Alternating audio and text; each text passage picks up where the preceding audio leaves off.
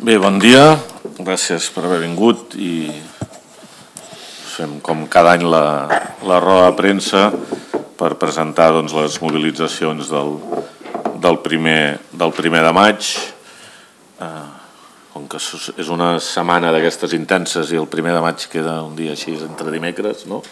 el divendres també tenim eh, les mobilitzacions del Dia de la Seguretat i l'Higiene en el Treball, que com sabeu era el 28, però ho fem conjuntament el, el divendres 26, estem en una setmana atapeïda doncs Sant Jordi i entremig sembla que hi ha també campanya electoral, vull dir que tots, eh, tots ben distrets i, i distretes.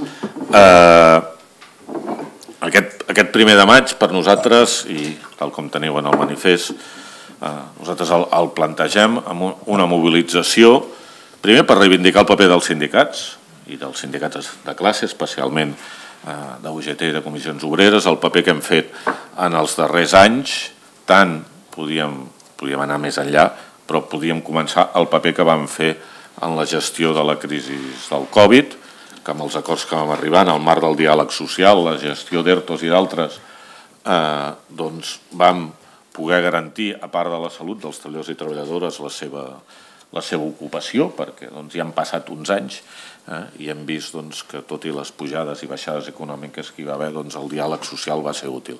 Després, posteriorment, i en aquell inici de diàleg social, doncs, altres aspectes importants, com els acords que hem fet amb el sistema de pensions per garantir les pensions de la gent que jubila, però al mateix temps, evidentment, l'acord de la reforma laboral, que també ha demostrat ara, doncs, ja passats uns anys de la reforma laboral, la consolidació i l'estabilitat en, el, en el mercat de treball.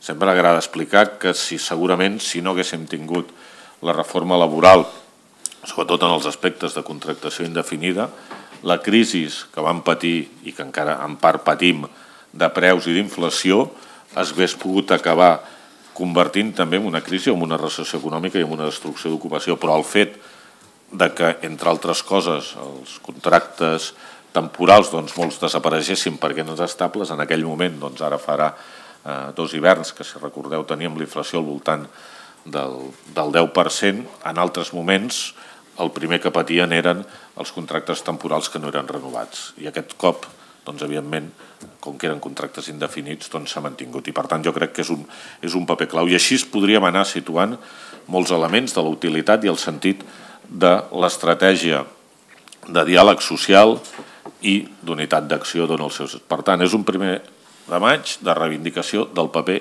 útil dels sindicats.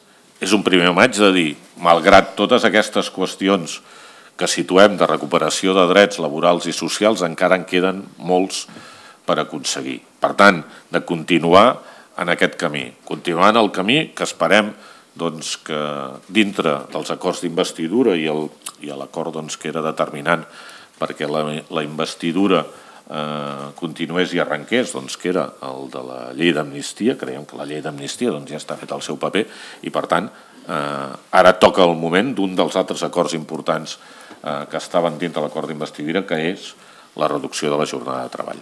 Nosaltres creiem que cal repartir el treball, que cal millorar les condicions de treball i que evidentment la gent ha de recuperar part del seu poder adquisitiu, per tant, amb millors salaris. Per tant, el nostre objectiu de treballar menys és un objectiu, el, les 37 hores i mitja és un camí, és una part del camí, no és l'objectiu final, cal avançar més.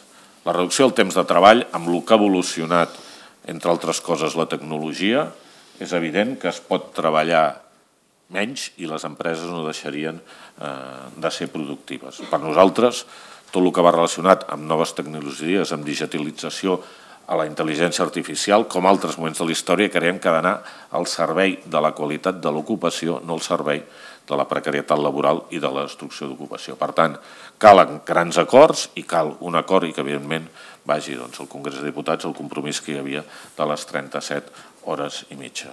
Al mateix temps, cal un reforçament de l'estat del benestar. La cronificació de les persones treballadores pobres cal trobar solucions. Algunes per la part doncs, del poder adquisitiu i del control de preus, cal també afrontar de manera seriosa el debat de l'habitatge, perquè cada cop més eh, tenir habitatge és una dificultat en molts casos extrema, i per tant també cal afrontar dintre del marc. Abans, treballant, doncs, ja era suficient per poder tindre doncs, habitatge, arribar a final de mes, per desgràcia això no, i es va modificant. També tenim un estat del benestar que necessita eh, més i necessita molta més estat del benestar, com per exemple doncs, tot el relacionat amb les cures especialment de la, de la gent gran. Per tant, necessitem més estat del benestar i, per tant, necessitem una fiscalitat millor per afrontar aquestes realitats. Per tant, és un primer de maig de reivindicació del paper dels sindicats com a gent útil en la millora de les condicions de vida de la gent, és un primer de maig de mobilització, però també és un primer de maig de propostes de futur. I al mateix temps és un primer de maig que ens trobem enmig de dues campanyes electorals. Quan tenia que venir encara no sabíem que tindrien les, de, les del Parlament de Catalunya, però ja teníem, no, evidentment, les, les eleccions europees. En les dues eleccions, encara que les europees semblen que quedin lluny, tant en el sentit del temps com el sentit lluny territorialment, els tenim molt a prop i són fonamentals. A les eleccions europees en juguem que hi hagi un Parlament Europeu de dreta i extrema dreta. I per tal cal frenar i per tant els treballadors i treballadors ens hem de mobilitzar igual que ens vam mobilitzar fa un any perquè no hi hagués un govern a l'Estat de dreta i extrema dreta durant aquesta legislatura del Parlament Europeu, entre altres qüestions, s'han aprovat directives al voltant del salari mínim interprofessional. S'han aprovat legislacions per la igualtat, intentant també reduir elements de bretxa salarial. S'han aprovat Next Generation. Es va aprovar en el marc d'Europa la, la compra de vacunes per part de tots els estats. Això amb una majoria europea de dreta o extrema dreta hagués passat? No. Per tant, els riscos de que polítiques que es decideixen al Parlament Europeu que s'han d'acabar traslladant després als estats membres no es produeixin o es produeixin contràries, és un element que ha de fer que la gent es mobilitzi. I per tant, insistirem, quan es vagin aprovant les eleccions europees i quan hagin passat les eleccions catalanes, però la gent ha de tindre al cap que no queden lluny, que queden molt a prop i que els riscos són reals. I respecte a les eleccions catalanes, doncs també eh, cridar la gent a la mobilització. Les darreres eleccions catalanes es van fer en un moment de mig post-Covid, no? per tant, votar en una situació excepcional i no sé si la baixa participació d'aquell moment o no, pot estar atribuït segurament a aquest aspecte, però per tant també demanem la mobilització de la gent en votar, en votar aquelles opcions polítiques doncs, que garanteixin el manteniment de l'estat del benestar i el seu creixement. És veritat que amb alguns acords que hem aconseguit parcialment les dues organitzacions en processos de pressupostos hem revertit part de les retallades, però també és cert que encara que s'hagin revertit part de les retallades, queda pendent els més de 10 anys de desinversió pública que s'han produït a Catalunya en l'estat del benestar, tant en el treball públic de la funció pública com també en les seves infraestructures. Elements com situava de la cura de les persones, però també d'altres, sanitat i ocupació, es fan prescindible. Es fa imprescindible també a Catalunya un debat sobre la fiscalitat, no només sobre el sistema de finançament, que evidentment creiem que s'ha de millorar, sinó quina és la fiscalitat que necessitem. Nosaltres no hem de competir amb altres comunitats autònomes per baixar impostos.